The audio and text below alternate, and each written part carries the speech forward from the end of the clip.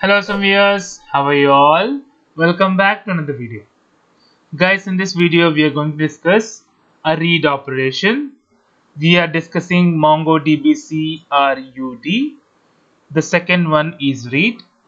Without any further ado, let us start the video.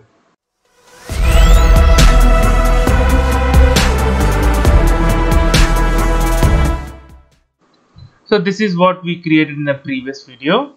Let me clear the screen and let me open the document. So in the document guys, the read operation, we have two operations, find and find one. We'll see what is the difference. So let us let me open the shell.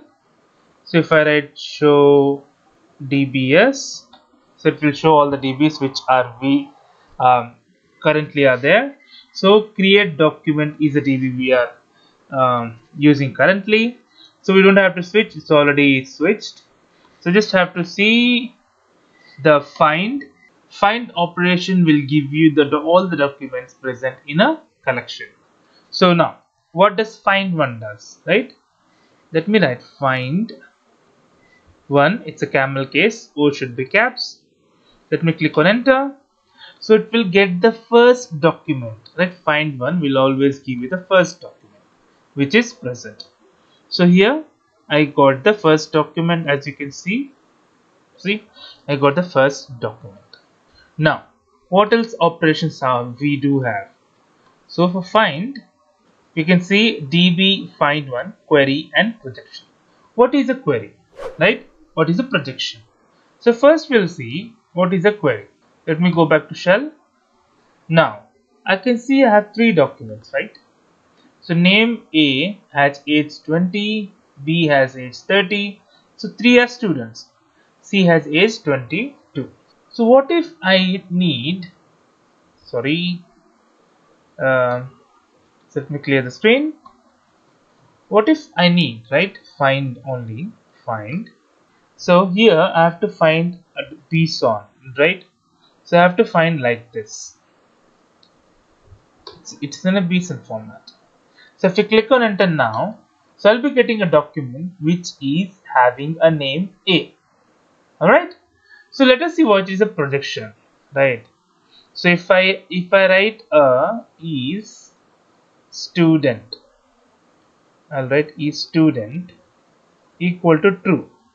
If you have seen the document, right?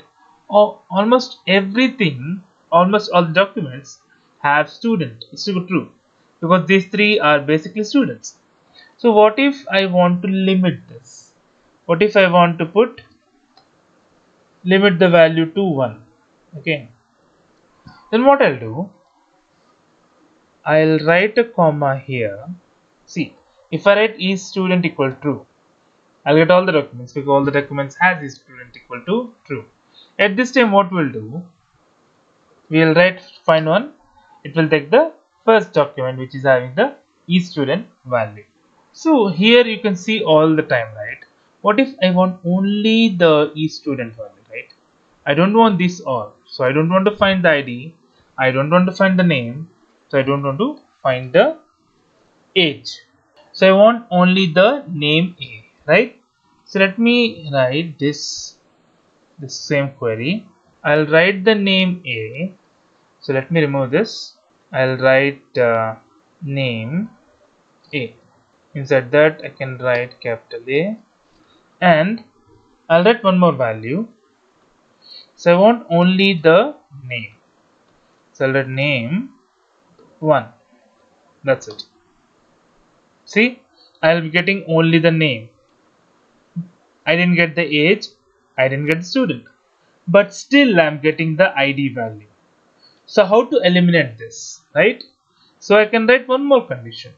Write it here. So I'll write underscore ID underscore ID colon 0 then I'll write a comma. Then I'll click on enter.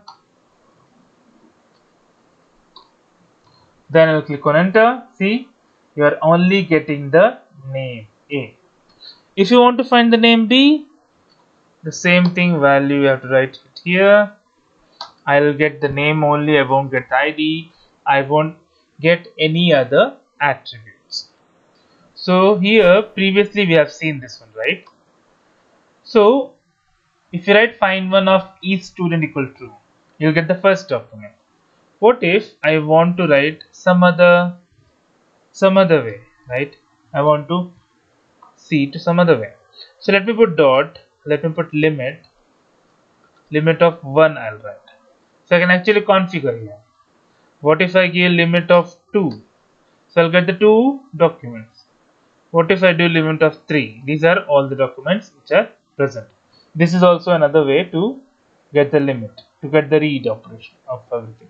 So there is also a skip limit 1 and I want to skip one document.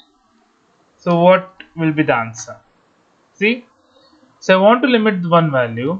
I want to skip the first one. So answer will be B. So I want to limit only one. So I want to skip the two values. So which document it will show? It will show the third document, C document. So yeah, these are few examples which we can see in the read operation. So that's it for the video guys. If you like the video, please click on like. If you're a new viewer, please click on subscribe. Till then guys, take care. Have a great day. Bye bye.